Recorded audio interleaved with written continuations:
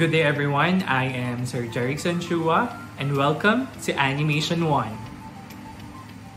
So before we start our session for today, may I request all of you to please bow your head as we feel the presence of our Lord through this prayer. In the name of the Father, and of the Son, and of the Holy Spirit. Amen.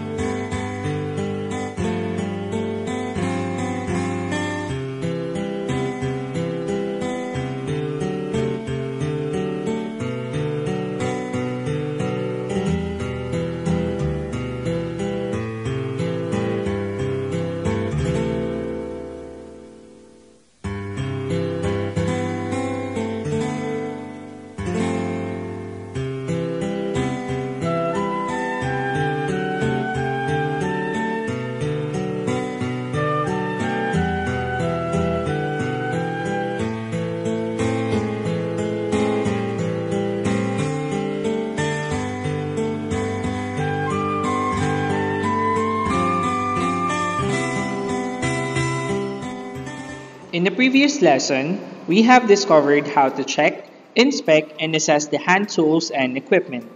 It is an investment to have tools and equipments that are in good condition. If they are well maintained, an animator will be able to save time and money. It is essential to keep all tools in good shape because most of the time, cleaning tools may be the least desirable thing to do after a day of work.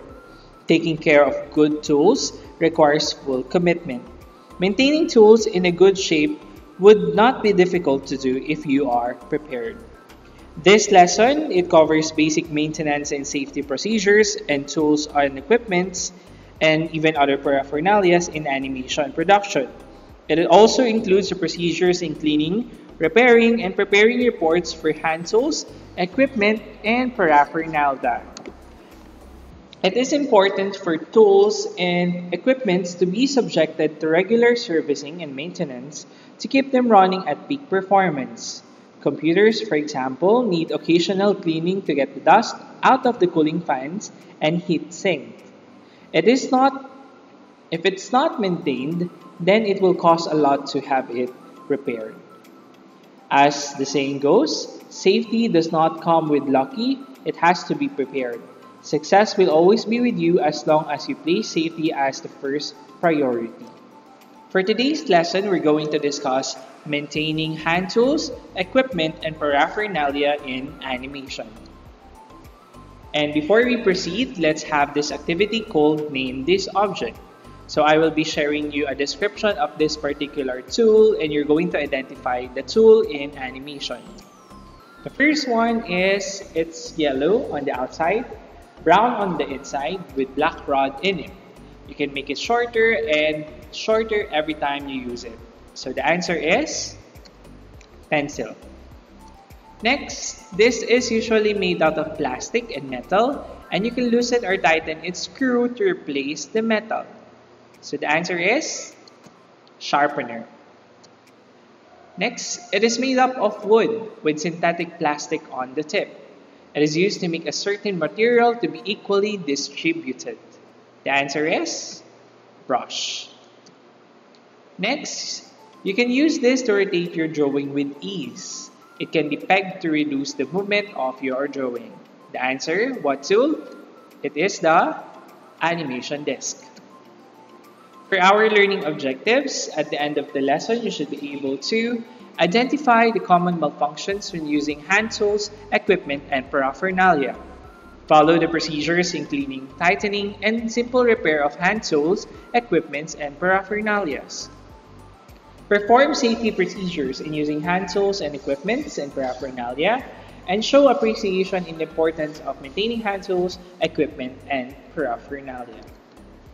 So the key terms for this particular lesson are as follows. We have safety procedures, common malfunctions of tools, equipments, and paraphernalia, the cleaning tools, and how do we report on the property custodian. So we have a question here. What do you think is the reason we need to understand safety in handling tools and equipments in animation? Tools are part of everybody's lives, but it is quite difficult for animators to be fully aware that this may pose hazards. Serious accidents can happen no matter how cautious animators are in taking steps to avoid or eliminate, eliminate tool-related hazards. Animators must learn to recognize the hazard associated with the different tools they use and safety precautions necessary to prevent those hazards. Mishandling of tools and equipment is a source of injury to workers. In many cases, injury happens because we assume that we know how to use the tools. So what are the general safety rules and requirements? Safety procedure and proper handling of tools and equipments are highly observed when working with any electronic devices in the animation industry to avoid damages or injuries. An animator works with so many things on his or her desk such as lamp, light box, animation disc, graphic tablets, and computer. It is important that an animator is familiar with using each tool correct, correctly. With the proper knowledge of the use of tools and the job of the animator is less difficult. The following safety rules apply to every animator. For the workstation, we need to keep your work area clean so that you can move around on your area.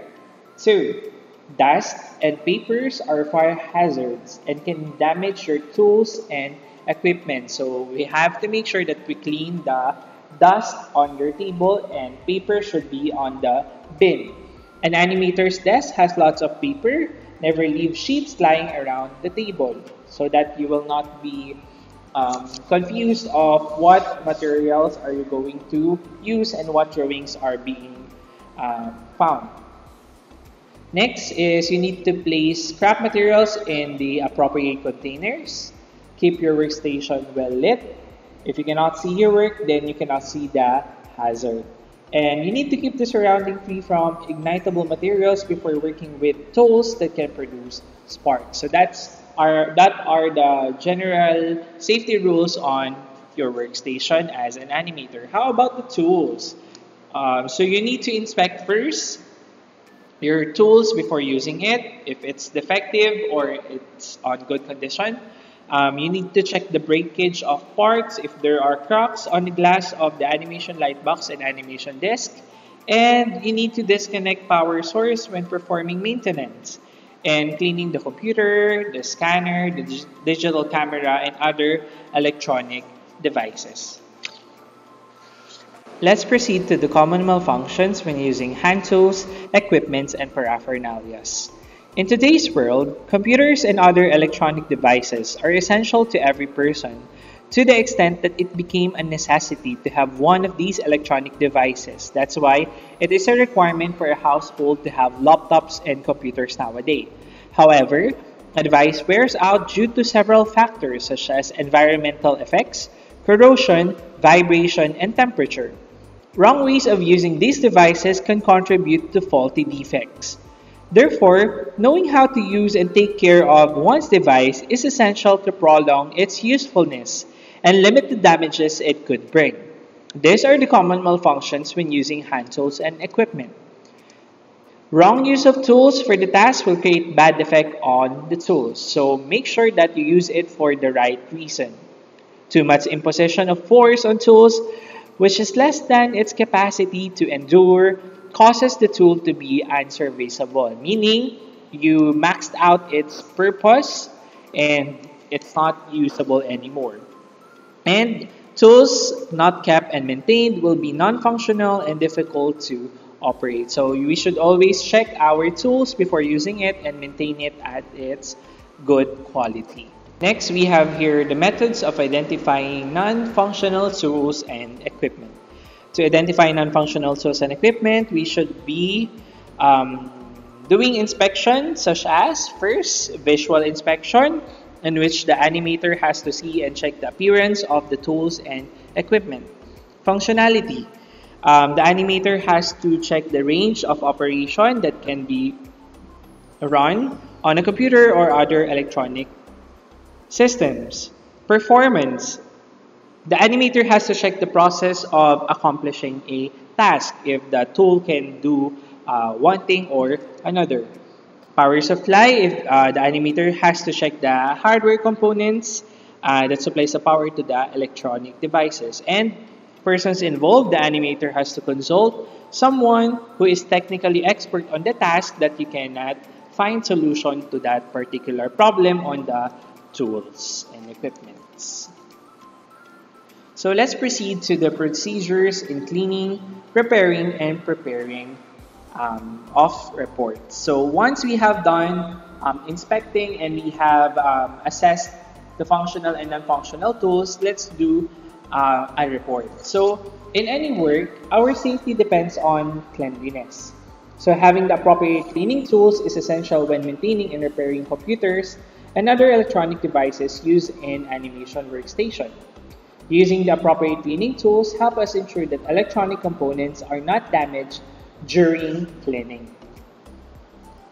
Keeping computers and other electronic devices clean inside and out is a vital part of maintenance program. Dirt accumulated from pencil erasures can cause problems with the physical operation of fans, buttons, and other mechanical compo components of computers. An excessive buildup of dust acts like an insulator and traps the heat on any electronic component. This insulation impairs the ability of the heat sinks and cooling fans to keep components cool, causing chips and circuits to overheat and fail. Dirty animation lightbox on or animation disk may prevent animators from producing good cleanup drawings. So the following common cleaning tools used in animation are as follows. So the first cleaning tool that we have is a lint-free cloth. So this is used to clean different computer components without scratching or leaving debris. So we can also use this to um, clean our uh, displays using a little bit of alcohol and uh, clean the keyboard of your computers and other electronic devices. Compressed air is used to blow away dust and debris from different computer parts without touching the components. We also have brush, which is used to sweep away dust and pencil erasures from electronic devices. Cable ties are used to bundle cables neatly and outside of the computer. And we also have here vacuum cleaner to suck up dirt and dust, especially if you are creating your drawings and there are a lot of dust um, created by eraser, erasers. And we also have glass cleaner in order for us to clean mirrors, glass, and screen of your computer monitors. Okay, so those are the cleaning tools. And how do we clean using these tools? So here are the procedures in cleaning hand tools, equipment, and paraphernalia. The first one is we need to keep hand tools in good condition and clean condition using two sets of rag. One rag should be lint-free cloth to clean or handle electrical components, and the other rag should be oily to prevent rust and corrosion. 2. Clean all electrical devices by brushing off any dust and wiping off excess oil or grease with a clean rag. 3. Inspect any electrical cables for dirt and for any chafing or exposed wires. 4. Clean the computer case and the monitor screen with mild cleaning solution on a damp, lint-free cloth. 5. Clean dusty components with a can of compressed air. Compressed air does not cause electrostatic buildup on components. 6. Clean computer monitor with a soft, clean, lint-free cloth with distilled water and wipe the screen from top to bottom. 7. Clean animation light box with soft, clean, damp cloth to prevent scratches on the glass. 8. Clean desktop keyboard with compressed air or a small handheld vacuum cleaner with a brush attached to it. And number nine, use a vacuum cleaner approved for electronic components. So those are the procedures in cleaning your equipments, tools, and paraphernalia in your workstations as an animator. Now, how do we now create a report that should be submitted to the property custodian? So the property custodian is the one who can monitor the inventory of your tools and equipments. So the first one is we need to conduct an inventory of the tools and the equipment. So how do we do um, inventory? So you will check the quantity, uh, the quality of the tools and equipment, if it's damaged or workable or it needs to be replaced. And uh, you will also report here the missing or uh, lost parts of a tool or equipment. Number two, you need to record the non-functional tools and equipments. Number three, we need to segregate tools that are serviceable and non-serviceable. Number four, we're going to report the number of tools and equipment that are not functional but subject to repair. Five, we need to label them um, that are condemnable, meaning um, we will uh, buy a new one. Six, list the missing and borrowed tools and equipments. And number seven, uh, we need to return tools and equipments in the tool cabinet per operating procedure. Okay, now that we have created the report, how do we now submit this report to the property custodian? One, we need to secure an inspection report form from the person responsible. Two, determine the defective instrument based on the report form. Three, you need to replace inspected tool and equipment with defects based on the report form. And number four, use the repair manual in replacing the defective So that's how you submit the report to the property custodian. So in summary of our discussion for today, we have discussed the different general safety rules for the workstation and tools, the common malfunctions when using the tools, equipments, and paraphernalias, methods on identifying the functional and non-functional tools and equipments. Um, we have discussed also the different cleaning tools and the procedures in cleaning these tools, equipments, and paraphernalias. And how do we report for a property custodian? So for our practice for this particular lesson, um, we were going to answer activity A and B on page 30 of your book, uh, in which you will conduct a maintenance activity and a procedure on how to prepare a report checklists. And after that, once you have finished with this particular activity, you're going to do PETA 5. So on our PETA 5, you will be given a scenario in the workplace and your task is to identify ways to perform safety measures in the workplace, identify the common malfunctions of the tools, equipments, and paraphernalias, and uh, find ways on how to repair it and you will be creating a report that will be submitted to the property custodian. So for the end codes for this discussion, um, we are always doing maintenance and repairs on our lives and making sure that everything is safe and in working order. So this is according to Gary Shields. And just to summarize our discussion for this day, what I want you to do is to create a comic strip or a symbol that represents our le learning for the lesson. So this is an activity called text transformation and you will submit this using our LMS as my basis for the summary of this discussion. Thank you for watching and I hope that you have learned many things from our discussion. See you on our next lesson. Keep safe and God bless.